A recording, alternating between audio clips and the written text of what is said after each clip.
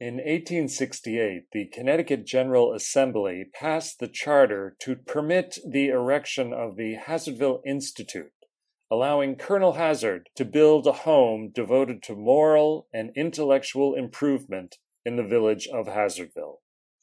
The Hazardville Institute became a school, a library, and a meeting place for generations of residents of Hazardville, functioning as a sports facility, a movie house, a dance academy, a polling place, and the community hall for annual banquets. And during World War I, the Red Cross held classes at the Institute.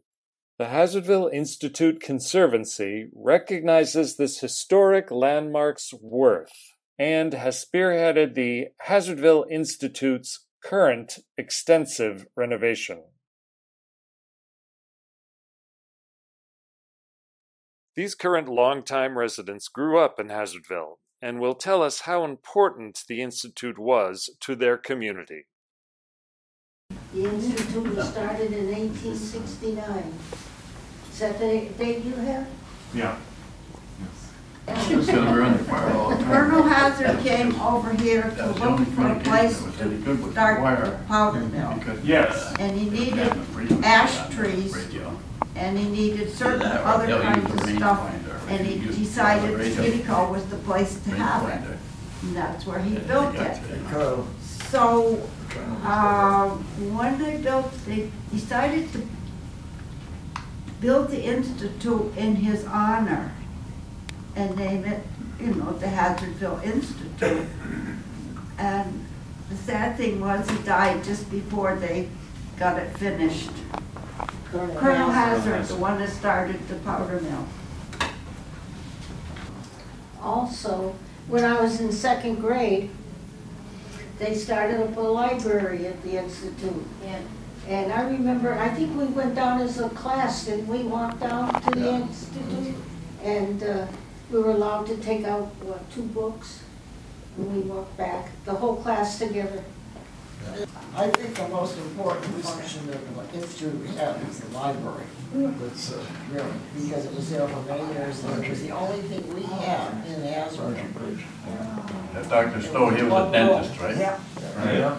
Well, my father, uh, my grandfather, he was um, a janitor in, in one of the Springfield libraries. So when they discarded the books, he, they, my father would bring them down and that's, that's kind of how they set up the library in Enfield or Hazardville. Does anybody remember Dr. I Stowe? forget what his name was. Yeah. He used to show movies down at the Institute. Getting back to Dr. Stowe, uh, he also showed movies on Saturday, and we kids loved those shows. And they were in serial movies, so you didn't want to miss one week because you'd lose the, uh, the uh, theme of the whole, what was going on, you know? Wednesday afternoon, Dr. Stowe would have the, the movies. And when he was a young fella, Ed, I don't know, it would be ninety-something, I suppose. But all the kids were in there one afternoon and Dr. Sho- Stowe was showing the film. And it was a cowboy and Indian thing. So the cowboy had the Indian tied up to the tree. And he takes his gun out, he's gonna shoot the Indian, well, the film broke. So, Ed Golan, and this is 60, 70 years after that, he says, you know, I wonder if that cowboy shot that Indian or not. So he said, what happened is, he says, we all ran down the fire escape, you all know where that is. We all ran down the fire escape and had a snowball fight. That was that story. Uh, How many people came? Vassar. Were there, It was crowded. Yeah. Because it was, you couldn't, Everybody else. You had to have gas coupons to, to drive around during World War II. And that, Dad had the car, so you had to, and it was too, you couldn't, couldn't go to the movies. The Institute was what we had because we couldn't afford to go to Thompsonville to the movies. So we spent an awful lot of time in the Institute in a variety of ways. And how many people remember Fourth of July? Oh, yeah. Oh, oh, yeah. Oh, yeah. I remember getting Oh, up that was it. in the morning and looking the- in the lawn and Yep. little pieces of, of paper all over for my cannons, you know. And How about Dr. And some of those cannons were loud. Yeah, right. And Main Street, all night long, fireworks are going off all the time, up and down the street, you know. Oh yeah. They were burning tires left and right. Yeah. Oh, yeah. Fire whistle would blow, uh, going down to this other end of the town. Yeah. And next thing you go down the other end of the town, then another, another alarm would come in. You gotta go the other, fire trucks are going back and forth. We used to have Fourth of July parades every year. Yeah. Until it says, oh, now we can't, we'll just have the Thompsonville one, you know. But I remember, I mean, we lived for that. Fourth of July was it, we lived for it all year. All the goings on. Can I have two, five cents so I can get some more, um, the things you put in the fake gun, what do you call them? Oh, caps. Yes. Yeah. It's a lot of those, the caps that you put in. We had a lot of fun with that, and then the stuff that makes the worms. Yeah, Barney sold that. Um, We would go upstairs and, and bob for apples, and then Dr. Stowe would show a movie after, Yeah. When the kids got all done bobbing for the apples, you know? Or they had to catch them all. Was that, you know, a certain time of year, just when there Oh, were I think it was around around? Halloween. Yeah. Oh, well, yeah, okay. We used to have a parade in Hazardville Yes. for Halloween, and then we'd come to the Institute and have a party, and then they would tell us, now you go straight home, and we'll call you if your, par- if your costume won a prize. So we did. And it was later, years later, that I realized what they really meant was go straight home, don't wax any windows, and don't cut any clotheslines. Took all the fun away.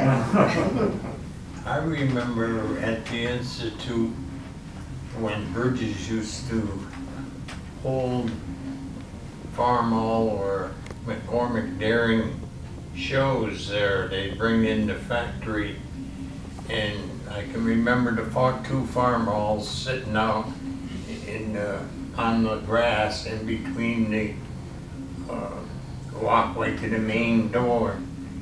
And, uh, of course, the factory would be in there and we'd uh, tell the farmers uh, what new products were coming out. And once a year, they used to have a program down at the Institute where they entertained the farmers, tried to, you know, have speakers and sell farm equipment. And um, I remember going to that, and they used to show a funny movie, you know, about broken down farms and everything that would go wrong. And it was funny, you know, we all kids enjoyed that, so, yeah. And also my father was uh, something to do with voting, register voters or something way back. And they used to vote at, the inside the, in the institute. And uh, I can remember my father with the big sheets with all the names on the ballots and uh, all that. Uh, Remember that, Marley? with the- Your dad used to be a fireman, right? Fire, fire, call Bill McGuire. That's what the kids heard that all the time. That was the saying years ago. Billy McGuire had a flat tire going to the fire. I remember the, uh, in the basement of the old institute, Yes. there used to be a big, hot, uh, big stove, big furnace down there. Yes. Yeah. And, Get the uh, city people in there. I know out back, Some beauty. there was a brook, Oh, yeah. and it, I don't know if it goes underneath the institute, Yeah. Yeah. and, and it. It goes and- under the road. And it goes under the road, uh, over by Locke's, And it has Locke's a garage. arch. Yep. And we It go goes- out through there. Terry Brook is the name of it? I don't know. I know, I know where it goes into the Scantic. Yeah. Yeah. It goes down into the, we came in back in I there. thought the brook went right through the cellar, but I'm not sure. It It did. Well, it did, It did? yeah. And I was curious if anybody ever saw it or ever went down into, to the basement enough to see the, uh, Arch. I, I, the arch, right. They used to, and they used to try to go as far as they could, like my brother and John and that group. And, you know, they go down, Mm. you would go right down and scan it, Yeah. But all underground? pretty much. But on the Institute there, uh, they Yeah. played basketball quite a bit in the old days. And my mother-in-law, Marion Olesquist, we have pictures of her playing basketball. Oh, yeah? Yeah, up there in Yeah. the top of, uh, the Institute. Do you have those pictures? Because they'd be great for the Institute. Yeah. You got pictures of that? Carl? Of, of Marion, yeah, my, Marion Olesquist, my, uh, Yeah. that'd mother-in-law, well, she's deceased, you know. So there was a girls' team, or they would Uh, play? I'm not sure. if- It was the, it was the women's basketball team, and Oh, they it used was. to practice down in the institute. Did you ever go to their games, or No, no? but I knew some of the people that, you know, were practicing there. Yeah. It was the right-hand side, the left-hand side was the library and the stairs that were horrible. They were very steep, or? Yes, Yeah, they sure were were. wide Yeah, and Wide steep. and steep. Yep. We were Girl Scouts, and when they would have a minstrel show or a play or something, um, we would sell fudge during intermission. I don't remember that. Well, you're just a kid. Thank you for, uh, for being here tonight, telling us, uh, some Yeah, thank you stories. for letting us Good. talk. Thank